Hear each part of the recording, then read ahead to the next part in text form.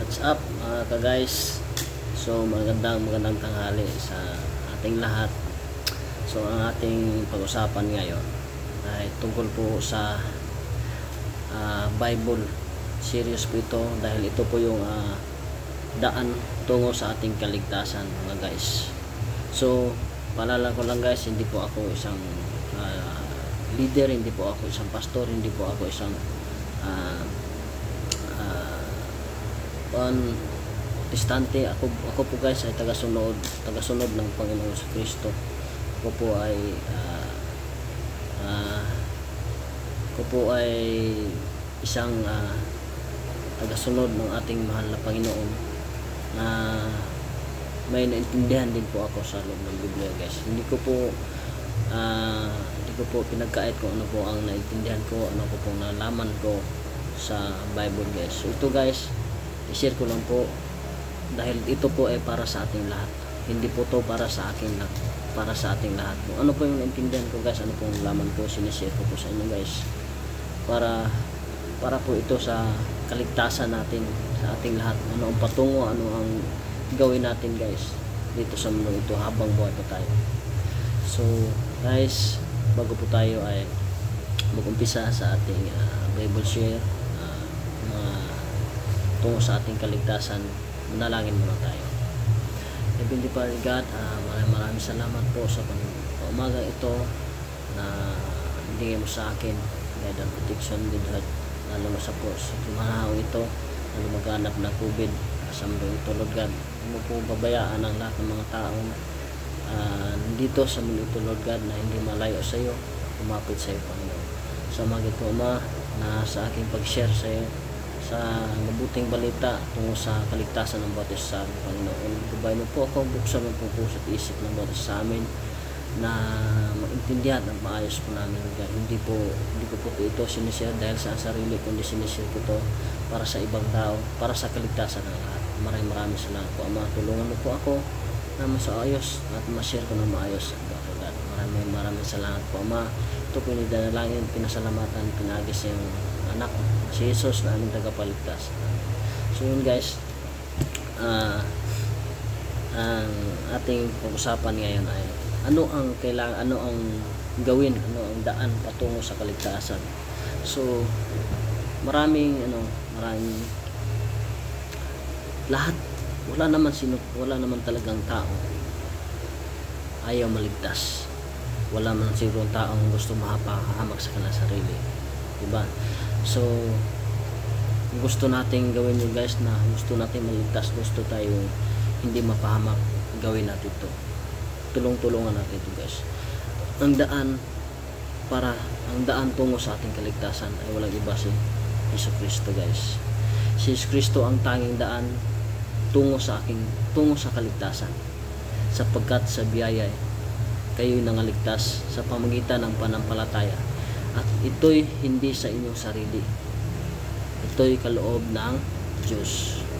Hindi sa pamagitan ng mga gawa upang ang sinuman huwag mapuri. Ang verse na ito guys ah,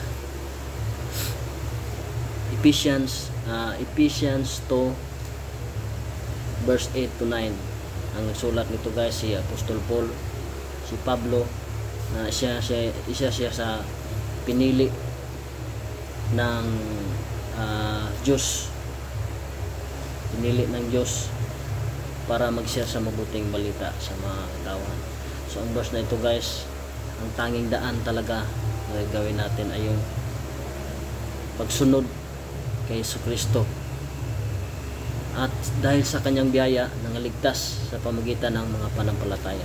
Sinabi yan ni Pablo sa mga taga-Episo na ang tanging daan lang talaga ay si Jesus Kristo sapagkat sa biyaya kayo'y nangaligtas sa pamagitan ng pananampalataya nila so ganyan din ang ah, dapat natin gawin guys na ah, gusto nating maligtas gusto nating ah, ah, hindi mapahamak sumunod tayo sa ating ah, Panginoong Iso Kristo dito guys yung verse na yun na uh, piso to verse 8 to 9 at mayroon naman tayong sunod na verse na 6 to 28 Roma 6 to Roma 6 verse 23. Sinulat din to ni Pablo guys. Sinabi niya sa mga taga-Roma na datapwat ang kalooban na walang bayad sa Diyos ay buhay na walang hanggan kay Kristo Jesus na Panginoon natin. So guys, yan yung dapat natin ano. Walang bayad yan guys, libre. Gusto mo maligtas, gusto mo magkaroon ng buhay na walang hanggan. Gawin natin. Nandun kay Jesus Kristo. Walang bayad guys, libre yan. Nasa Roma 6 verse 23 sinulat sinabi yan ni Pablo sa taga Roma na ang kaloob ng walang bayad ang, ang kaloob ang gusto ng ama na walang bayad para sa lahat ng mga tao ay buhay na walang hanggan na kay Kristo Jesus na kay Jesus Christ guys. Wala nang sinuman wala nang sinuman na uh, gawin para tayo ay hindi mapahamak para tayo maligtas. Sumunod tayo sa kanyang anak na si Yesu Cristo so to guys uh, may sabihin ako sa inyo lahat ano man ano ang pinagdadaanan mo sa buhay ngayon ikaw ba ay dumaan sa pagkakasala kalituhan kaguluhan kahirapan kalungkutan sakit, kapaguran, galit, at kawaan ng pag-ibig o kawalang kabuluhan. Sadyang mahirap ang buhay. Guys, kung meron kayong pinagdanaanan na ganong buhay, meron kayong pinagdaanan ngayon, si Satanas at ang kasalanan ang dahilan kung bakit meron tayong pinagdaanan na ganyan mga kapatid. Napapagod ka na ba sa pagkikipaglaban? Sa tao at sa iyong mga problema? Guys, ito. Si Jesus ang daan. Mahal ka niya.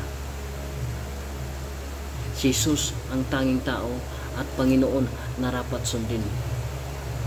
Muli ngang nagsasalita sa kanya si Jesus na sinasabi, ito ang sinasabi niya guys kay Juan lahat tayo guys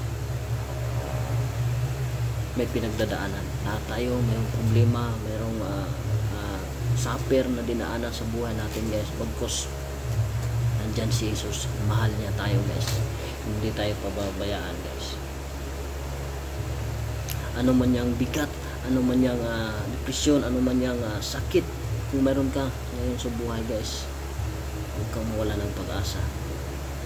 May tanging Panginoon tayo na sinasandalan. Siya ang bahala sa lahat. Manalig lang tayo ni Yesu Cristo guys sinabi ito ni Yesu Cristo sa kanyang uh, alagad na si Juan. Ako ang ilaw ng sanglibutan. Ang sumusunod sa akin ay hindi lalakad sa kadiliman kundi magkaroon ng ilaw ng kabuhayan. Ang verse na ito guys sa John 8 verse 12 sinulat niya ni Apostol John isa sa mga isa, isa sa mga apostol ni Jesus Christ sa 12 disciples sinabi niya mismo ni Jesus Christ kay Juan ako ang ilaw ng sanglibutan ang sumusunod sa akin ay hindi lalakad sa kadiliman. So, itong verse na to guys, bakit, uh, kung hindi nyo maintindihan guys, uh, itong verse na to guys, si Jesus Christ ang ilaw sa kadiliman. Ibig sabihin guys, siya ang liwanag sa kadiliman. Siya ang uh, siya ang liwanag sa kasalanan. Ang kadiliman guys, yun ang kasalanan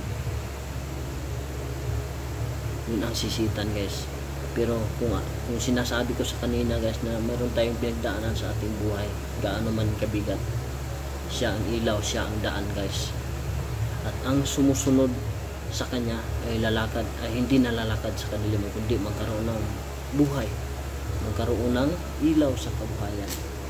Diba guys huwag kayong mawalang pag-asa kasi lahat-lahat tayo merong pinagdaanan sa ating buhay. Pero hindi tayo pinabayaan ng ating Panginoong Hesus. Mahal ka niya. Mahal ka niya mga kapatid. So dito sa John 14.6 din sinasabi din ito ni Kristo kay John Apostol John.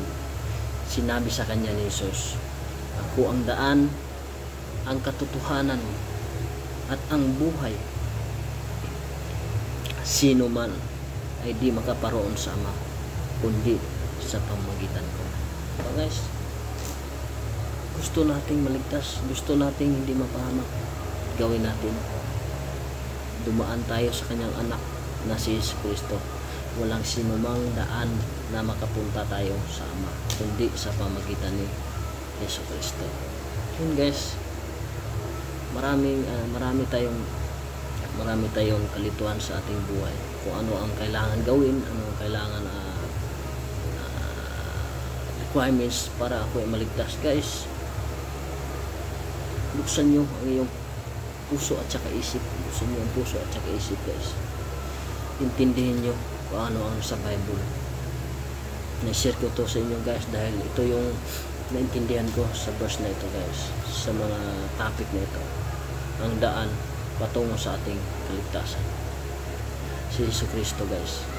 Sapagkat ang lahat ay nakasala nga lahat guys nagkasala walang sino sa Roma 3 verse 23 sinulat to ni Pablo at sinabi to ni Pablo sa taga Roma so guys maliwanag na sinabi ni Pablo sapagkat ang lahat ay nagkasala walang excepted yan guys.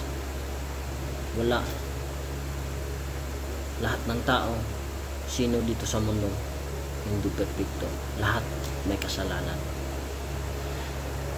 At hindi nakaabot sa kalahatian ng Diyos. Yan yung sinabi ni Pablo sa taga Roma sinulat ni Pablo yan sa Roma 3.23 lahat nga ay nagkasala at hindi naka at hindi nakaabot sa kalahatian ng Diyos. At dito naman guys sa Roma 6.23 sapagkat ang kabayaran ng kasalanan ay kamatayan. Lahat ay nagkasala kabayaran ng kasalanan ay kamatayan guys. So anong anong ano natin doon? Lahat naman tayo nagsala so ito guys kabayaran ka natin ay kasalanan pero datapwat ang kalooban na walang bayad ng Diyos ay buhay na walang hanggan Di ba? Walang bayad yan guys. Ang buhay na walang hanggan na kay Kristo Jesus. Magandang ano guys. Magandang uh, sinasabi. Ayan ni Pablo taga Roma. Ang kabayaran ng kamatayan, ang kabayaran ng kasalanan ay kamatayan.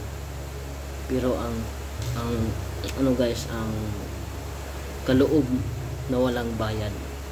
Isipin natin yun guys walang bayad yun guys. Libre.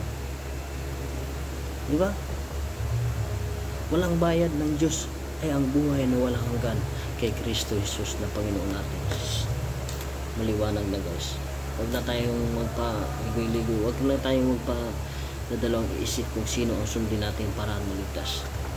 Si Jesus lang ang tunay ang daan at ang katotohanan para magkaroon tayo ng kaligtasan sa ating buhay. So yun guys, uh, isipin natin dito sa 1 John 2 verse 2 guys. Isipin natin to dito. Namatay si Jesus sa cross dahil sa parusang tayo dapat ang bumanas. Yun guys, dapat iparealize natin sa ating sarili kung ano ang ginawa ni Jesus Christ para sa iyo, para sa ating lahat. Namatay siya. Namatay si Jesus sa krus dahil sa parusang tayo dapat ang dadanas. Ang pagkamatay ni Jesus ang naging daan para sa kapatawaran ng lahat ng mga tao. Diba? guys isipin natin yun. Bayad yung kanyang sarili. Pagpakamatay lang siya para sa atin para sa iyo, para sa ating lahat. At dito na ang pagkamatay ni Jesus na naging daan para sa kapatawaran ng lahat ng tao. Kaya guys, mag, uh, magpatawad tayo guys para tayo ay pagtawarin. Ano mang ano mang uh, ano mang kabigat ang kasalanan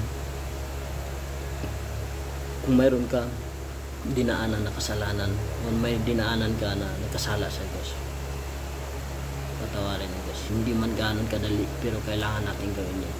Kasi dito yung pinapakita na si Jesus na tayo dapat ang daan. Na pagkamatay ni Jesus na naging daan para sa kapatawaran ng lahat ng tao. So, di ba guys? Ang pagandang mensahe na sinasabi dito guys. So yun guys. Ah, dito naman sa 2 Corinto 5 verse 21 ginapi niya ang kasalanan at kamatayan. Pagkatapos na namatay sa cross siya ay muling nabuhay. Dito na natin ano guys. Dito na natin maano yung ano yung ah, ano yung dahilan ano yung gospel na kailangan nating ipasok sa ating puso at saka isip guys. 1 Corinthians 15 verse 1 to 4 basahin natin dito guys. 1 Corinthians 15 verse uh, 1 to 4 1 Corinthians 15 ito guys. Ang nagsulat nito guys si Pablo na sinasabi niya sa mga katauhan doon sa Corinto. Ngayon ipinatalastas ko sa inyo mga kapatid. Ang ibanghilyo na inyong aking pinangaral na inyo namang tinanggap na siya naman yung pinatilihan. So ang gospel guys is gospel. Good news mabuting balita. Gospel ay Jesus died for our sins. At pinako siya sa krus. Namatay siya sa katlong araw ang nilibing. Pagkatapos sa katlong araw siya muling nabuhay. That is gospel guys. Sinasabihan ni Pablo ang ebanghelyo gospel na pinangharal ni Pablo sa kanila na tinanggap naman nila at yun ay pinatilihan sa kanilang puso. Sa pamamagitan naman nito ligtas kayo kung natyaga yung ingatan ang salitang pinangaral ko sa inyo ito sinasabi ni Pablo guys na ang gospel pala guys kaligtasan ng isang tao. Kailangan maging matyaga ka. Kailangan mo maging uh, kailangan mo uh, pagtyagaan mo ang gospel kasi ito yung kaligtasan natin. Sinabi ni Pablo guys sa pamagitan naman ito ligtas kayo. Kung matyaga nyo iingatan ang ipinangaral ko sa inyo maliban na kung kayo'y nagsisinampalataya ng walang kabula. Alam nyo guys maraming taong ano, sa panahon ngayon na mahina sa salita ng Diyos. So ito guys base sa aking na experience base din sa aking naintindihan huwag yung antayin ang panahon na dumating ang panahon na wala ng uh, susunod. Wala ng bukas. Mga kapatid guys sundin nyo na ang dapat para sa kaligtasan ng bawat sa atin. So ito yung sa 3 sapagkat binigay ko sa inyo ang lahat ang akin namang tinanggap. Yan yung sabi ni Pablo guys. Binigay niya lahat. Kung anong tinanggap niya ang gospel na tinanggap niya sa Hesus Kristo. Binigay sinabi niya sa mga tao hindi lang para sa kanya sarili guys. Na si Kristo ay namatay dahil sa ating mga kasalanan. Ayon sa kasulatan. Isipin natin yun guys. Pagkatapos ng ikatlong araw ni, uh, pagkatapos nilibing siya binuhay sa ikatlong araw. Ayon sa kasulatan. Diba guys? That is gospel. Good news si Hesus Kristo nagpakamatay dahil sa ating mga kasalanan. Pina, pinahirapan siya guys. Alam niyo guys alam niyo si Hesus Kristo dahil sa pagsakripisyo niya para sa ating lahat. Hindi yung madali yung kanyang ah, pinag ah, hindi madali yung kanyang hirap. Dahil hindi siya yung pinatay diretso yung sinasak yung yung binaril diretso sa ulo para isang patay na. Hindi guys. Alam niyo kung paano? Pinahirapan mo na siya guys. Binugbog. Pinag ah, ah, palo-palo. Pinahirapan nagpasa ng cross guys. Hindi na may tsura yung kanyang mukha. Dahil yan sa'yo. Sa akin. Sa ating lahat isipin natin yung guys kung gaano kahirap ang daanan niya para lang tayo ay malinis para lang tayo ay maligtas. So yun guys huwag nating ipagdalawang isip yung ating buhay na ibigay din natin sa kanya. Hindi naman yung ibigay na magpakamatay tayo o magpako tayo sa krus kundi tanggapin natin ang gospel. Tanggapin natin siya ng buong puso. Para yan sa atin hindi para yan sa kanya para sa atin para sa kaligtasan natin guys yun ang dapat natin gawin.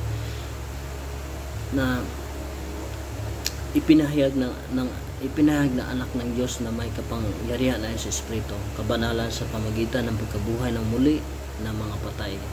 Dito pinahayag ng Diyos Ama na ipinangala na na nabuhay siya sa mga patay. Si Jesus Kristo guys nabuhay siyang muli sa mga patay. Baka ito'y bagay na si Jesus sa Panginoon natin. Roma 4.1 guys yun yung sinabi sa Roma 4 verse 1 na ipinahayag na anak siya ng Ama na, ng Panginoon nating Diyos na makapangyarihan ayon sa Espiritu ng kabanalan sa pamagitan ng pagkabuhay ng mamuli ng mga patay na makatuwid bagay si Yesu Kristo na Panginoon natin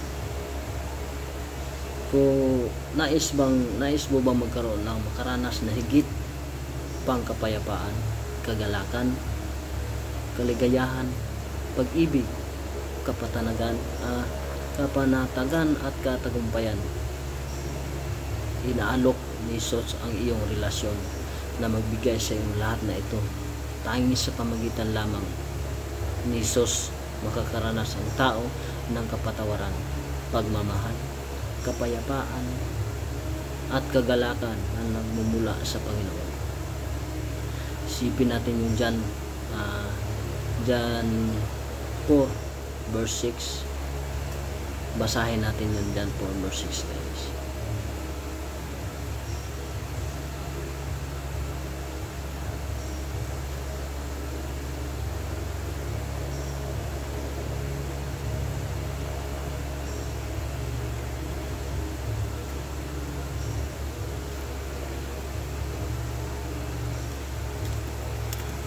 Diba guys? Ito, John 4, uh, John 14 verse 6.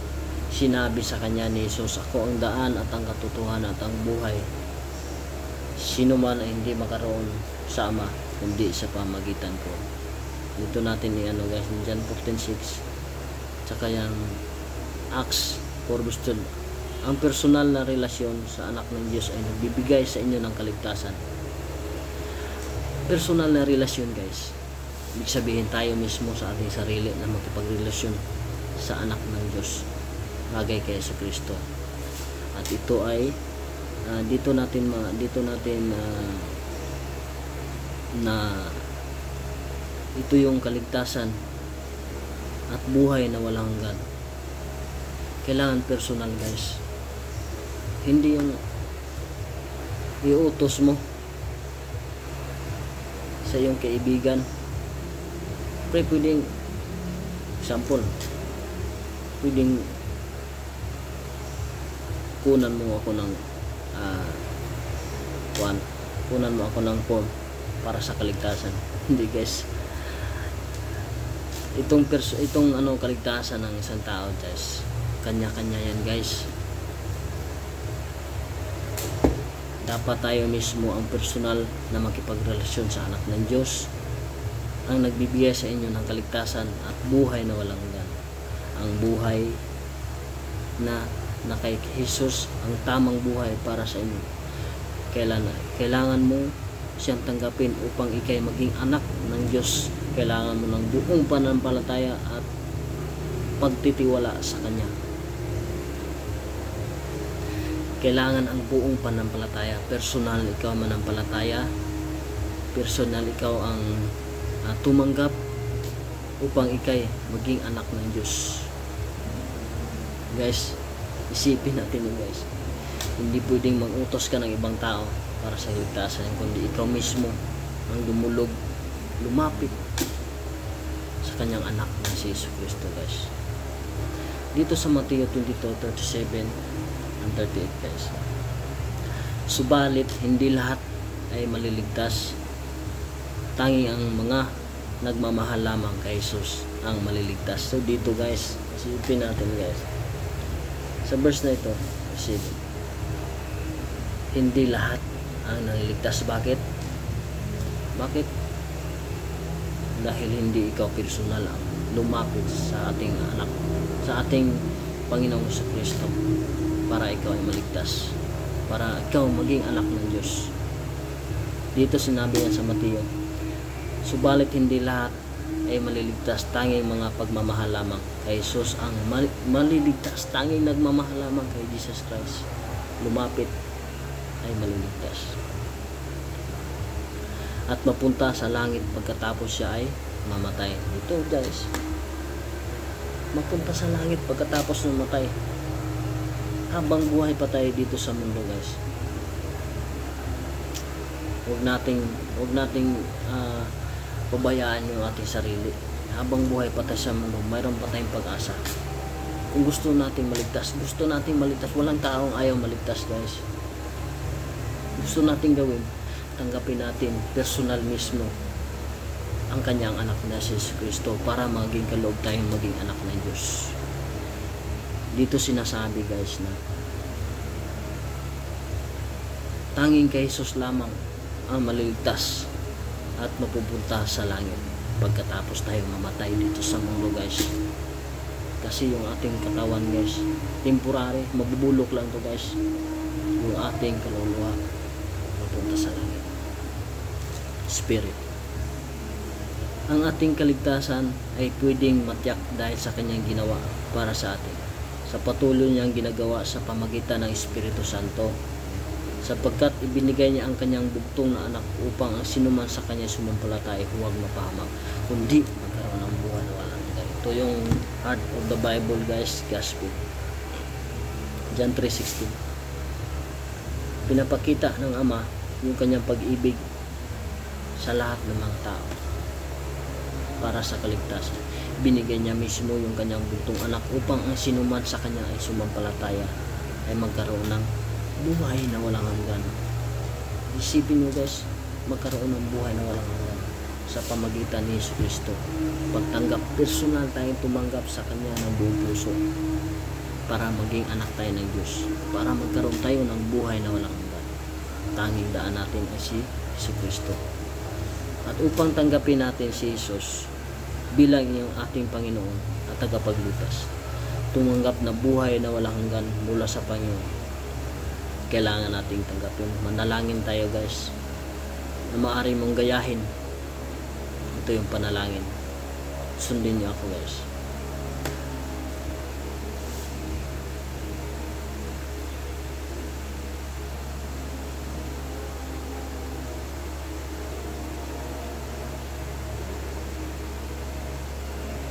Ang panalangin ito ay isang parang upang ipahayag ng Diyos ang mga inyong panampalataya sa kanyang anak pasalamatan niya siya. regalo niyang kapatawan ay buhay na walang hanggan. Amang nas, uh, ama sa kalangitan, naniniwala ako sa inyo sa anak na si Yesu Kristo na siya ang tanging daan upang magkaroon ako ng buhay na walang hanggan. Alam kong nagkasala ako laban sa inyo. Narapat lamang ako'y parusahan. Ako po ay nagsisi sa lahat ng aking mga nagawang kasalanan laban sa iyo. Nalaman ko na nagpapasalamat ako kay Jesus na aking tabagligtas sa pag-ako ng parusang narapat para sa akin.